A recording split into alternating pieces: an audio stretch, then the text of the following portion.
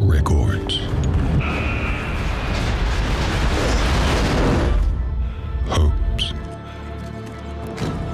Expectations.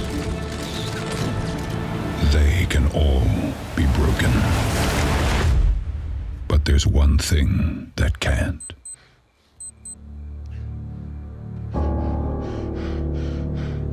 The toughness within.